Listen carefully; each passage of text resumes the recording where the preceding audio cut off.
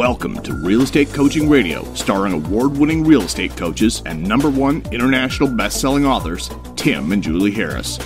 Real Estate Coaching Radio is the nation's number one daily radio show for realtors who demand authentic, real time coaching. Get ready for fluff free, unfiltered, full strength honesty about what's truly working to get you into action, helping others, and making money now in today's real estate market. Now to our hosts, Tim and Julie Harris. Three, two, one, and we're back, Julie. It is December the 11th. We're just a couple weeks out of Christmas. I know. Happy Friday. You know what? I have to do some Christmas shopping for you. I have to do some Christmas shopping for pretty much everybody. The clock is ticking. It's so hard to remember when it's you know 80 degrees every day. Not that I'm complaining because people are gonna be like, Yeah. "What?" You know. Remember, we're from Ohio. We did our time in the Midwest. We That's right. understand cold. We understand rain, freezing rain, sleet, frozen snow, all of those variety of things. So our heart goes out to you if you're experiencing that. But yes, it is time to get the Christmas shop finished. Yes. So, what do you want for Christmas? gosh, I don't know. Don't- Probably all things having to do with working out. You know, um, I want to have time with you and the kid at the beach looking at fish. My, mine's more peace and time than anything. Peace and time. All right. Well, Yeah. that that make some cookies and. You I don't know if I can promise you peace and time over the holiday, considering I we have know, a seven-year-old and a you know a couple French bulldogs more and, likely to get chaos and no peace, and and pandemonium. But Yeah. Mm-hmm. it is in the Caribbean, so we can be grateful certainly for that. that's right. So we are working on helping all of you with your 2021 business plan. Now this is and we've been talking a lot about the importance of taking these podcasts seriously. We're going to be going over the meat and potatoes of the details of the um, treasure map, but none of this will mean anything to you. And the real estate treasure map is our fill in the blank business plan. None of this will mean a thing to you unless you've actually taken the time um, and you've completed your real estate treasure map, or even better, you're completing it at the same time that we're doing this podcast. And if you've not downloaded your pod, your podcast, if you've not downloaded your treasure map yet, uh, all you got to do is text 2021 to 855 685 1045. Just text 2021 to 855 685 1045, and you're going to be get a text back. Click that link in the text, and it'll take you right to um, the website where you can download not just the real estate treasure map, but Think and Grow Rich for Real Estate. Now, that is a rendition of Think and Grow Rich uh, that was written by Napoleon Hill. And this is um, the uh, public domain version. So, this is the original writing. And so, what we did years ago is we took the original Think and Grow Rich and we added real estate content to make it very personal. And what uh, Julie actually was genius in taking each of the subjects, each of the um, subjects which may seem sometimes a little obtuse and maybe written in a, a format that is a little hard to understand because it was written back in the 20s. Um, and she then essentially translated it for real estate people. So I think you guys will really enjoy it. real estate, you know, Right. Yeah. But it's free, and all you've got to do is text 2021 to 855 685 1045. And there's six other books there as well. Your 12 month lead generation plan. We're giving all these things to you as our way of saying thank you for a fantastic year. Thank you for the honor of being your coaches. Or if we're not your coaches yet, at least thank you for the honor of being your podcast hosts. And thank you for continuing to make this the number one listened to daily podcast for real estate agents, at least in the United States.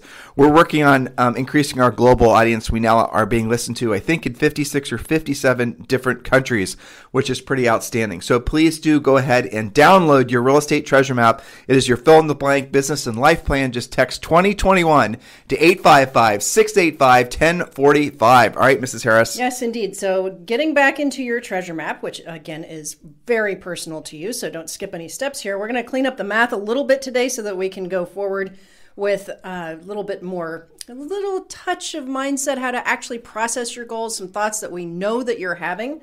So, let's just make sure that you've got the math done. We went over personal overhead, business overhead, tax, dedication, and savings. Generally, if you're socking away 20% for taxes and at least 10% to savings, at least to start.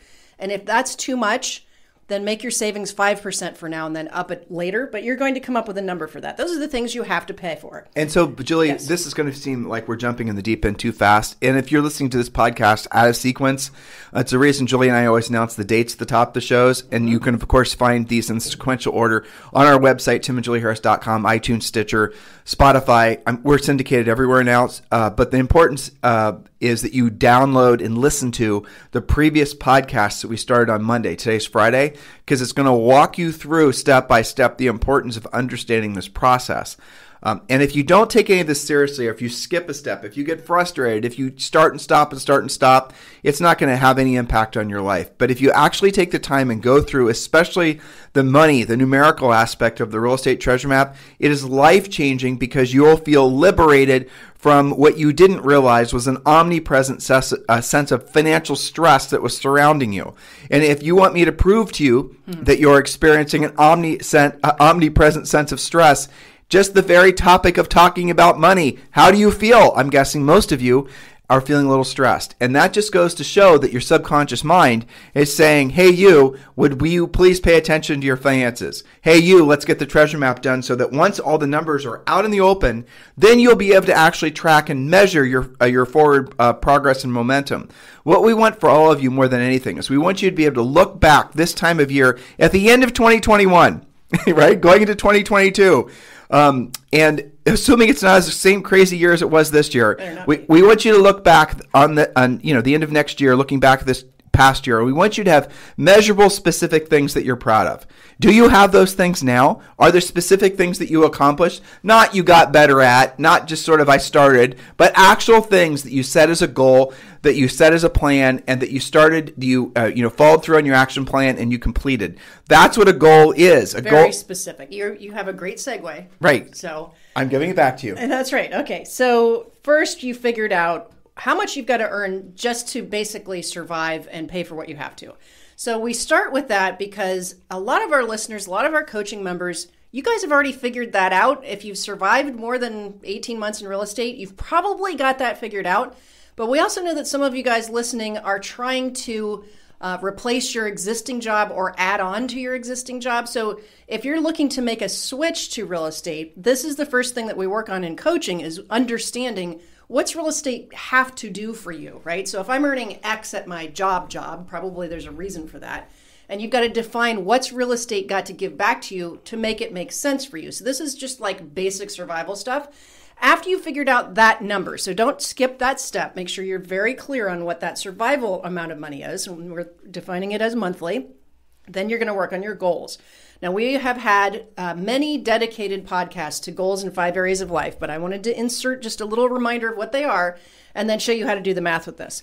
So, your mission is to have very specific. So, goals have to be SMART, S M A R T, specific, measurable, attainable, realistic, and timely. In other words, a goal is a dream with an action plan, a specific plan. So, the five areas of life are family, physical, financial, spiritual, and educational. Again, family, physical, financial, spiritual, and educational. Now, I wanted to make sure, Tim, that we pointed out their goal here is not to have ultimate balance. That is not the goal. I know some of you guys are like, oh, I've got to find my balance. No, in fact, anything worth doing, having, being, or seeing takes being out of balance almost on purpose. And there's so much that's been written on that. You know, they talk about, you know, Michael Phelps being in the pool um, six hours a day. And, you know, obviously he's prioritizing swimming, but he also is the most decorated Olympic athlete in the history of the Olympics. So anything that you're going after, you're going to at least sometimes well, be out of balance. Drill down more on what you just said. So there's there's five categories of life that, generally speaking, everyone will agree is the most definable way of setting you know meaningful, impactful goals in your life. Uh, there's spiritual. Julie and I don't like to mess around with words. So it's spiritual, there's family, there's educational, there's financial, and there's physical, right? right? And so what she is expressing, and just to really drill down for those of you, and I always, you always have to remember that we're picking up new listeners every day. I know. That's why I'm kind of backtracking I know. and filling in. And this is sometimes yeah. the first time they've heard this information, yeah, right? right. I, we're so used to preaching to the choir, I you know. know. But so the moral of the story is, is that to have balance in your life is impossible. And it's a, maybe not even um, a pursuit that any of you should be considering because in the pursuit of having balance in your life, you actually burn yourself out. Now, can you have balance if you're only picking maybe two or three of those uh, five things to focus on? Probably. Now, if you if that's your definition of balance, no argument here.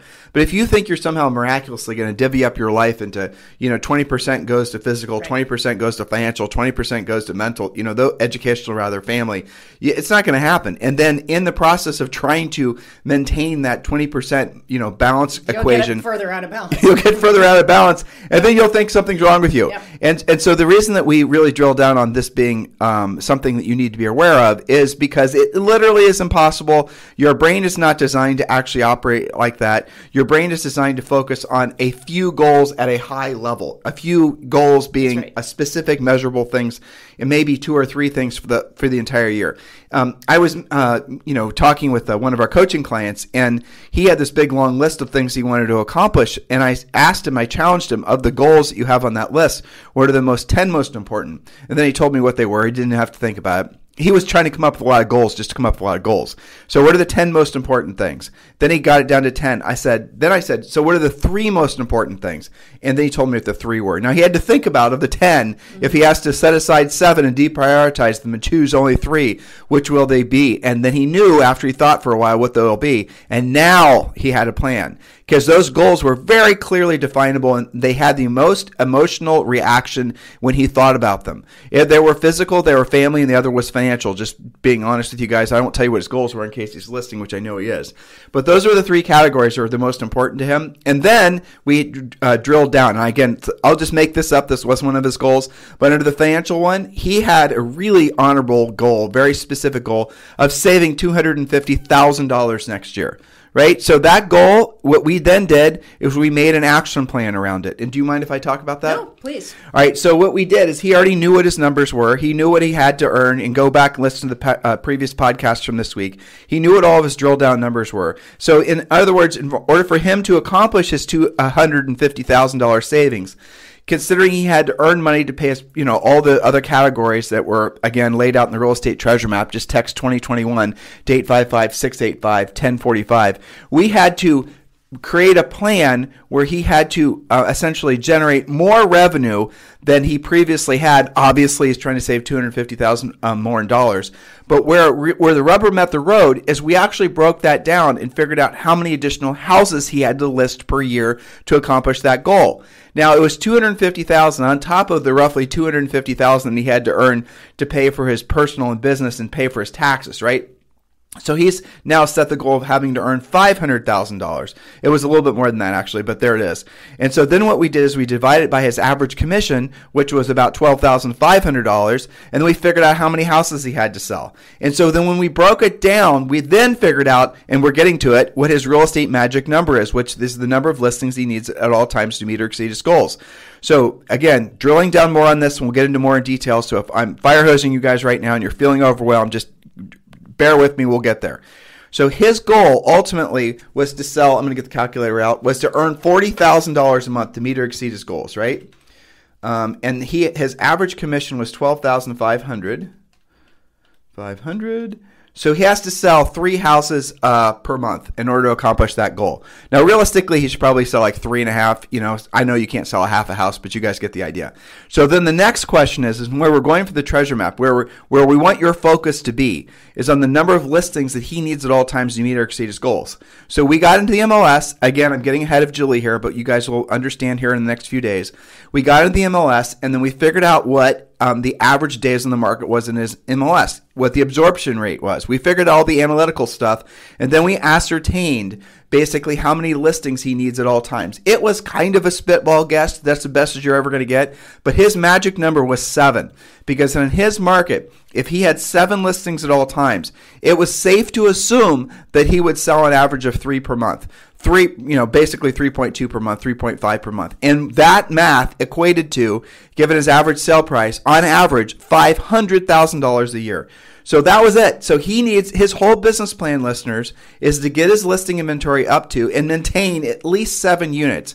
Now, obviously, I then challenged him to get it up to 10 because who knows what will happen. One of the listings will decide to take it off the market, whatever, whatever. But at the end of the day, his whole business plan and yep. mission in his real estate business is to get to and then replace as they sell uh, you know, the listings and maintain a minimum standard of 10 listings at all times. That's his entire business plan. Yes, but let me jump in here.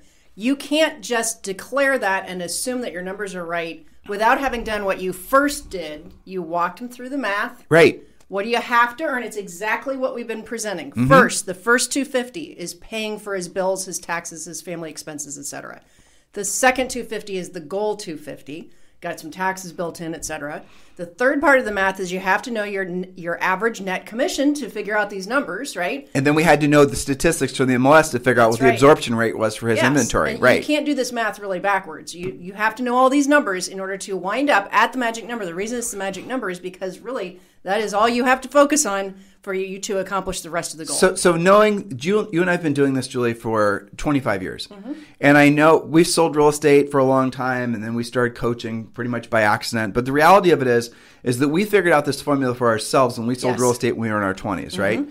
Um, and no one told us this, but we figured it out because we knew ultimately that the most revenue, the most profit we could make was off the listing side. we could do basic and the math. buyer sides will come, right? You were just talking about him Right. doing a half, an extra half deal. That'll spin off easily when you have inventory. Right. Well, my suggestion to him, and he was, you know, reveling in this idea, Yep. was they actually not work with any buyers, Yeah. and that he not. So, so, but here's here's the interesting concept. When what does he do with the buyers? He pre-qualifies all the leads that he gets. He pulls out the buyers that present as buyers that actually have listings to sell. He then takes them as sellers, and then maybe he can choose to work with some of those sellers if he wants to. But he actually would be, be better. His time would be better spent, especially in a market like this, guys. And he's in a hot sellers market. If he focused all of his best energies every single day on being a listing agent. So then what happens? And we're getting to all of this.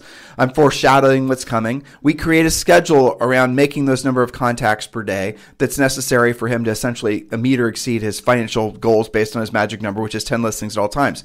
But here's what I want you to understand. It is really this simple.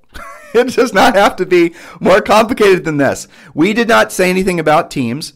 You do you think you need a big bunch of staff to have 10 listings at all times? No, you do not.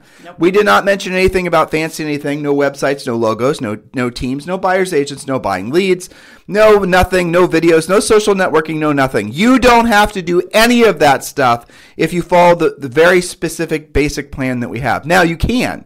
You can enhance what you're doing, but understand when you do the other stuff, the fluff, right? When you do that stuff, it has no nutritional value. In other words, you will not get from doing the fluff that you, you know, anything really for the most part. Your efforts are going to be uh, best rewarded by doing the real work of real estate, being a proactive lead generator, and following our very easy to understand plan. Now, here's the thing that's fascinating to me agents, humans, want things to be more complicated than what we just said. Mm-hmm.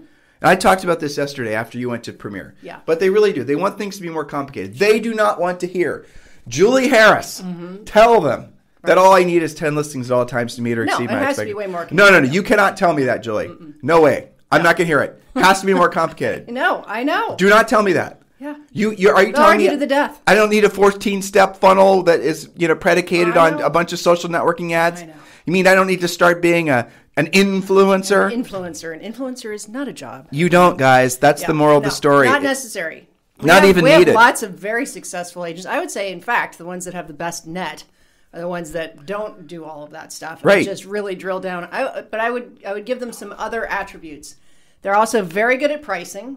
They're very good at doing what they don't want to do when they don't want to do it at a high level. Maybe not every single day, but they Extremely good at that. pre-qualifying. Very good at pre-qualifying. They Right. don't work a lot with a lot of fluff. Right. They make, by and large, more contacts than the average agent because they pre-qualify well. They're a little bit more picky, which means they've got to sift and sort a little bit more.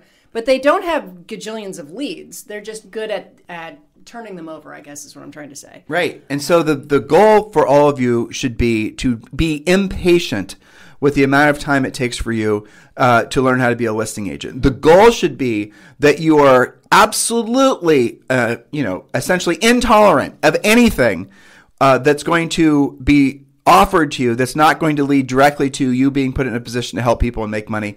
And one of the key filters that all of you should have in place, and this is one of the first rules that all you should have, because this is the time of year where you guys love, you get bored and you start looking for silly things to preoccupy your time. Next thing you know, you're in a Facebook group and someone's on there trying to tell you about some gimmick. So here's the best filter for whatever gimmicks you might be considering. Will this uh, gimmick, idea, fill in the blank, put money in my pocket in the, and the next 90 days or less? For sure. Not For sure. guesstimating, Yes. not impressions or contacts or anything. or else. brand building or down the road or maybe over time. No, because what you'll discover is 99% of all the things that are being sold to you guys will not put the money in. Now, is there a place for the branding and the social networking? There is, but you are doing it in the wrong order. You're, eh, eh, again, Julie just made this point. I'm going to restate it. Bear with me. You might not ever choose to do any of the other fluff stuff because you don't need to because you've learned to be a proactive lead generator and you're making consistent income and you don't need to have all that other stuff. Now, if you choose to do the other things, understand that they are fluff. It will not lead directly to business. It might just be a creative endeavor for you, and that's fine. There's nothing wrong with it. But please don't be confused that the real revenue, the real income, the real profit is going to come from doing the real work in real estate. And the spokes you have to add first, which we're getting to that analogy, mm-hmm. the spokes you have to add first to your lead generation wheel are the proactive lead generation spokes. And after you've gotten good at the proactive lead generation spokes, I bet you you will not even remotely be romanced by the idea of doing any of the passive stuff. That's right. So make sure you do your math correctly and figure out what your magic number is. And by the way, those of you who are new or newer, maybe less experienced, you don't have to wait to be a listing agent. I had a great uh, caller on my premier coaching call yesterday. He said he's only a year into real estate. This is the end of his first year. He did eight deals, and six of them were listings. I thought that was awesome and a great example. You can start out with listings, and you should. So, anybody telling you you've got to wait and you've got to do your time and you have to eat off of bigger agents' crumbs, don't listen to that person. Be part of a team. Be a buyer no, agent. No, no, no. you, you, don't have to do any of that. Just jump right in and be a listing agent right away. And if you're an agent who basically is essentially, you know, being pulled in a different, in many different directions, not really having defined lead generation sources, your only real lead generation source, if pressed, would you'd say centers of influence and past clients. And if I were to ask you, how are you uh, getting those people to call you? You would say, well, I mail them things, I drop off things. And I, so in other words, you're doing passive stuff. And the problem with that, that obviously, is that you can't control it. You can't make a, a you can't create a plan where every single day you're going to wake up and you're going to do X and e- going to equal Y, and Y is helping somebody and making money. I mean, you can't do that with the centers of influence and past client plans. You can't. You have to wait around for them to call back and ask you to help them. Well, and you can't predict. We're not saying you shouldn't do it. This should be kind of the underlying foundation to other things. The, the issue is that you can't tell me who from your database, your past clients, your centers of influence, who's going to be next, what what their motivation is going to be, if they're buying or selling with you, if they're talking to other people or not. You don't know. So you've got to keep that moving all the time and not make it your only spoke in the wheel. So before we get to the spokes in the wheel, because the next question is, you know, once I figure out my magic number and I know how many deals I got to do per month, to again not just keep the lights on, but also to meet or exceed your actual goals the next question logically is, well, how am I going to get there? What, what am I going to do? Well, let's introduce the concept and we can help yeah. them build it, okay? Yep. Because um, you and I both have uh, Zoom meetings. Thing. Right. Yeah. So the spokes in the wheel analogy, it's very simple. Julie and I came up with this, I don't even know, decades ago. But it's a very simple concept is that essentially your spokes, I want you to imagine an old time bicycle wheel. The more spokes in the wheel, the stronger the wheel is going to be. So again, you're rolling down the street and your front wheel has one spoke. And that one spoke is, you know, all that's holding up the integrity of that wheel.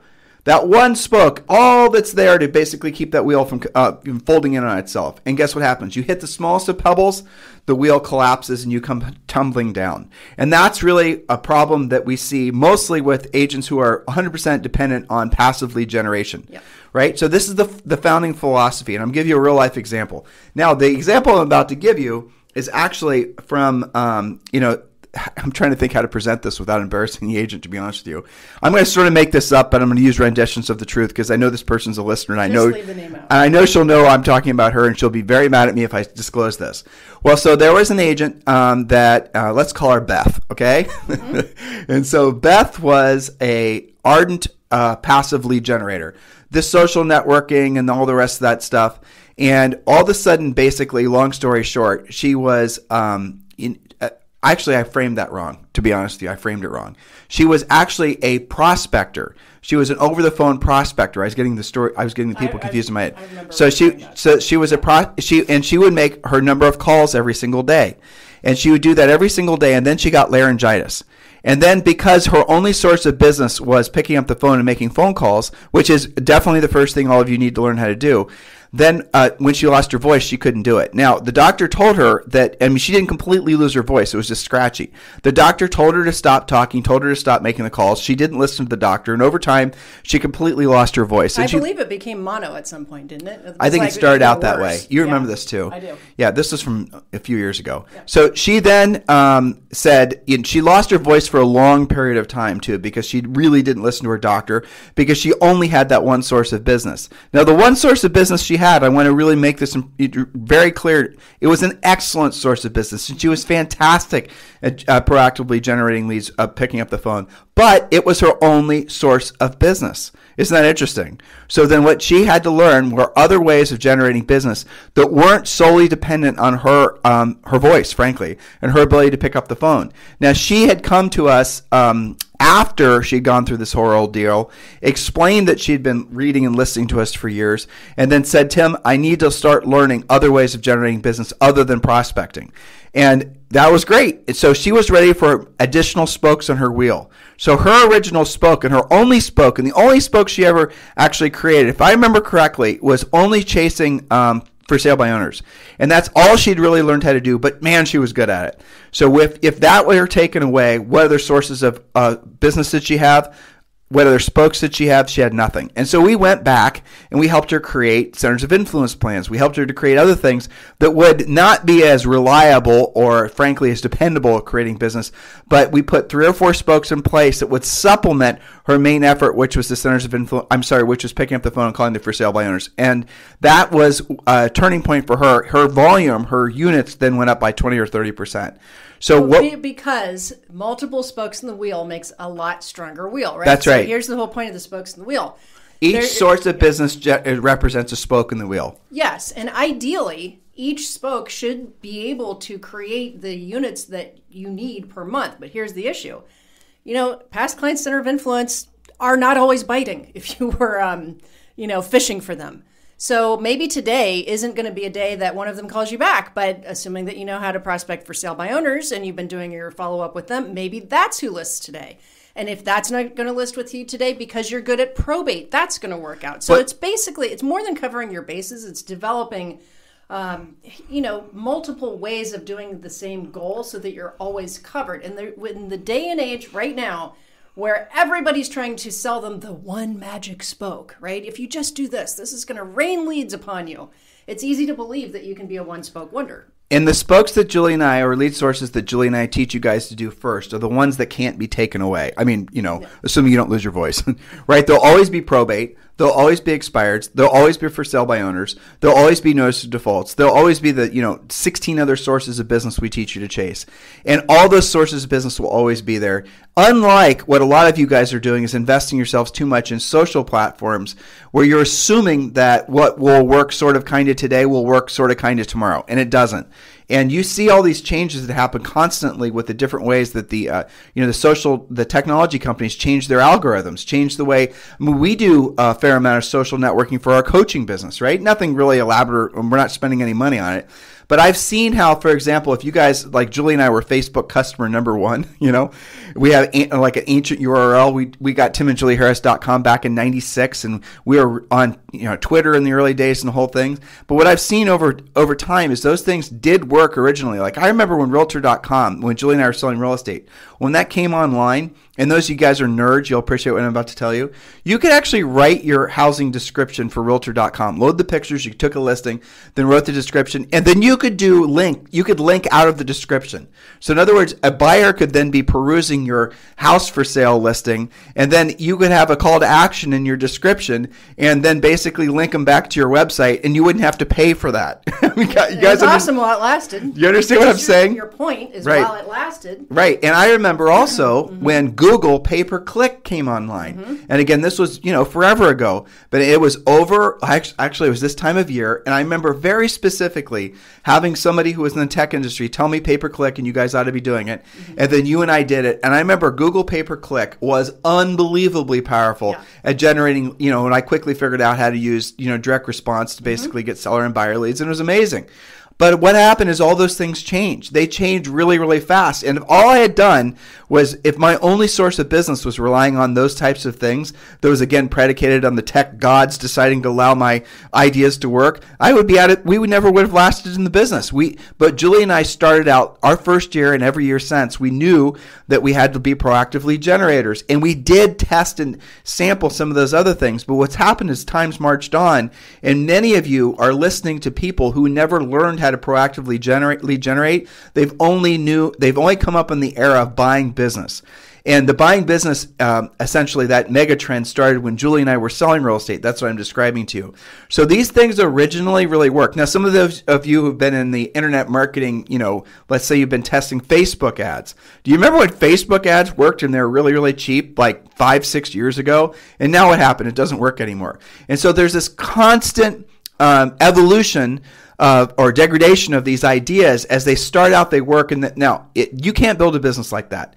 You're always going to be chasing the trend. You're never going to have consistent lead flow. If you're constantly bouncing from one platform to another one platform to another you've not really built anything for yourself. You've not improved your skill set. You've not become the person that you are destined to become if you're willing to do what you don't want to do and you don't want to do at the highest level who can wake up every single day and say today i'm going to set at least one pre-qualified listing appointment. I know what to say know how to say it. I know what to do. That's where you have to get. When you're doing all these other things, including centers of influence and past client stuff, you're just basically hoping that the real estate gods just, uh, decide to yeah. sprinkle leads on you that particular day. And there's something in marketing, and I think this the word is a it's a bit of an onomatopoeia, isn't it? Over okay. oversaturation. Yeah. Yeah, that's a definite onomatopoeia. So oversaturation is in essence where you have too many people doing the same thing and the idea stops to work. In other words, it's oversaturated. It's like a sponge that can't well, hold water anymore. That often is that that starts to happen far before you see it or notice right. it happening. And you can be months into that expenditure and go, "Huh, I wonder what why isn't that working anymore?" But that happens with ev- that happens with all these ideas. It even happens with the old school ones like direct mail. So you, it becomes oversaturated. You could have a phenomenal. We've had coaching clients who we've helped set up really great direct mail campaigns. But before we do, we research the snot out of the area that they want to actually start direct mailing. And if we find out, for example, that the market's uh, essentially the turnover is too slow, and if we, I'll tell you what we primarily look for. If we see well entrenched one, two, and three agents in those particular markets who are doing direct mail, you really think direct mail that you're going to do is somehow going to grab the attention that those agents haven't already seized? That market's oversaturated. And so the same thing happens with all these other gimmicky ideas. But where it never happens is with your skill set. Which means your best affirmation is if it's meant to be, it's up to me. Instead of if it's meant to be, I'm dependent on all these other things actually coming into alignment and working. Right. That's not a plan. That's and do, opium. And doing following these uh, sort of, you know, gimmicky paths that are so, I don't know, sexy and they're so captivating and the idea that you can tempting. just do tempting, right? the the problem ultimately with that is you really don't ever develop a specific marketable skill set. You don't ever get to the point where again you have that confidence and the ability and the business acumen and the professionalism to actually have a predictable, duplicatable business. Do you remember when Julie and I were just talking um, about the real estate magic number? Remember we were just describing to you that formula? You remember what it was predicated on? You actually making a certain number of proactive contacts every single day to get your listing inventory up to a certain number, but you cannot do any of the things I just said. those two simple activities if you're basically buying your business and you're just essentially hoping for the real estate gods to, you know, sprinkle a uh, lead on you that particular day. You can only do it if you have the skill set to go after the business. Does this make sense? That's right. So get your skills in order, get the treasure map, get to work. Yeah, exactly. None, none of this is particularly difficult or super advanced or anything like that. None of it requires that you sell X number of houses or you can't handle the treasure map. None of that is true. Mm-mm. Every single listener can do this. And the faster you do it and the faster you get these concepts and put them into place, the happier you're going to be and you're going to have a lot more money in your pocket. The hardest part of listening to what we have to say is not it's easy to understand. Sure. It's intuitive. Yeah. I think the hardest part of listening to what you and I have to say is then knowing you have to say no to all the other things that maybe they've been tuned into, right? Because And- they are tempting and they are sexy, and you know, I mean, who, Right. who wouldn't want to take an easy button, right? and, and you might not even find anybody else- else out there in the you know anywhere that it's going to reinforce what Julie and I are saying. And the reason is is because they haven't been in the business for as long as we have. exactly that. They haven't. I mean, there's a benefit of having done something Well, for as long as we have. and seeing all of those. I mean, there were so many things on that list of. I mean, I remember when when you could get direct leads off of your website because it wasn't being pushed down to page twenty by Yeah, all these other companies. SEO right? was easy. It was easy for a while. when we put up days are over. when we put up our real estate website timandjulieharris.com right Yeah. we had um, from that website we were able to get just with virtually no uh, certainly expertise with regards to search engine optimization and i'm telling you guys all That, this that term wasn't even around then. no but Not i you could easily get to be one of the first top five uh, page placements and and then you could do pay per click at the top of every search you know on google get you guys remember all the search engines there used to be do you remember all these Yeah. stupid names Bing and I mean even AOL and Yahoo and AOL, but there were a whole bunch of other ones Yeah. too, like goofy names. Google like, the remember the one with the little dog logo? What the hell was that? I can't remember but I know. I know But they've all gone. But it was easy back then, and all that stuff worked because they were new ideas. But those days are over. That essentially the the ship has long since sailed. And that happens all the time now. It does. Yeah. I mean, really quick. And you look, they're talking now about breaking up Facebook. They're talking saw about that. they're talking about making Facebook uh, diversify out of Instagram and out of Snapchat, and they're going to who, who knows what's going to happen with all that. But the moral of the story, listeners, is is if you have the skill set to be a proactive lead generator, you'll never be dependent on any of these other sources. You'll have libertas, which means freedom. You'll have that freedom if you've actually earned the right to have it, and that only comes on the other side of doing having long periods of doing what you don't want to do when you don't want to do it at the highest level. Anything else you want to say to these guys? But you know, those periods won't be as long when you do the right things at the right time and you don't go through your real estate career guessing at what you're supposed to do. That's the whole point of the treasure map is to get you away from saying, well, I just want to do more. I want to do more next year. I want to save more. I want to have more. Okay, so that's not definitive. That's not specific, measurable, time dependent, any of, the, of that. So the more you define it, and I'll tell you, even though temporarily in the treasure map, they can get a little bit stressed out over the financial thing because you're having to be real honest with your situation. When you actually finish the treasure map and you have the answers to all of these questions, like what's your magic number, how many units do you actually need, and how are you going to get there, the enormous sigh of relief that everyone has every Definitely. single time you've done tons of treasure maps with people, have. They're like, oh, okay, so now, okay, all I've got to do is this. Well, they send us pictures. Yeah, like the awesome. out the output of the treasure map is you're going to end up having dry erase boards on your office wall, and one of your dry erase boards is going to have the number of listings that you or the number of transactions you have to do to essentially accomplish your goals. The other board's going to have the number of listings you need at all times. You're going to set your life up so that you have when you walk into your office. And no, we do not want this to be done virtually. We want dry erase boards, right? That's We- the point of it. It's that's- called visual accountability. Right. And that's where we're taking all of you guys is setting up your office and your business and your personal life so that you actually can walk into this space. I'm Julie and I are in our little podcasting studio, which is them. I don't even know what the square footage of this room is, maybe 400 square feet. Yeah. But we're surrounded by dry erase boards. We're surrounded by things that are conducive to us drilling down, staying focused, and doing the best job we can as these guys as real estate coach. Mm-hmm. So listen, we're going to pick up on this topic on Monday. On Sunday, Mrs. Harris has warned me that she's got a lot of interesting topics. Oh, our yes. Sunday show is the Unhinged,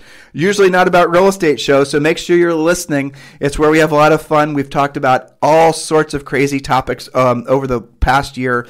I think um, you know 2020 has certainly brought up a lot of uh, interesting opportunities to talk about everything from what would it be? Uh, killer what was it? killer hornets, uh, murder hornets, aliens. aliens. Um, all kind we've got the the alignment of planets is actually happening. Oh yes, soon. that's right. the alignment yes. of planets. We have all kinds of fun things to talk about. Yes, and we didn't talk about COVID a lot because everyone was talking about COVID. Um, but we talked about things to entertain you guys because really you need to allow your brain to be a little bit more elastic. And one of the best ways to do it is start thinking about things or reading about things that are going to be completely foreign to you. And that's what Julie and I look for. We'll we, I'll stumble across something, or Julie and I will stumble, or she'll stumble across something, and we'll set, you know email it, and then we'll read it, and then it'll be something we can talk about. And we look for things that we don't normally talk about.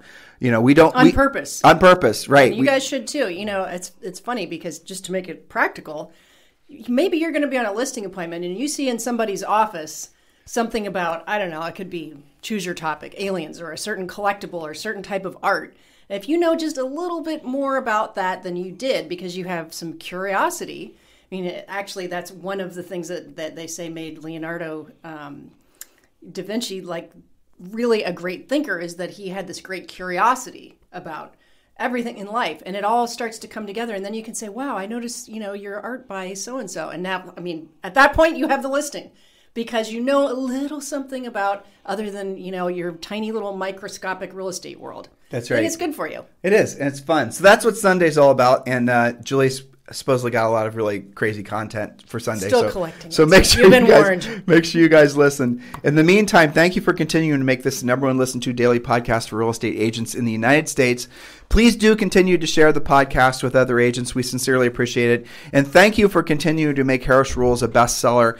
Um, over 400 five star reviews on Amazon. It's available everywhere. We saw it in bookstores and we were traveling recently.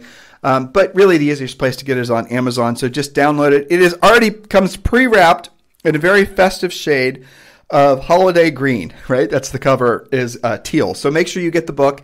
And even if um, it's also available on Audible, it's a great book for entrepreneurs. We have a lot of people that are reading it that aren't even in the industry, real estate industry, but they're getting something from it for the sake of the business advice. So do I, I, I strongly suggest all of you get the book and listen to it and read it. It works out perfectly if you read the book while you're doing the treasure map. Because once you start essentially breathing the same mental air that Julie and I are breathing and all of our thousands of coaching clients, what you're going to discover is your life actually becomes a lot simpler, easier, clearer.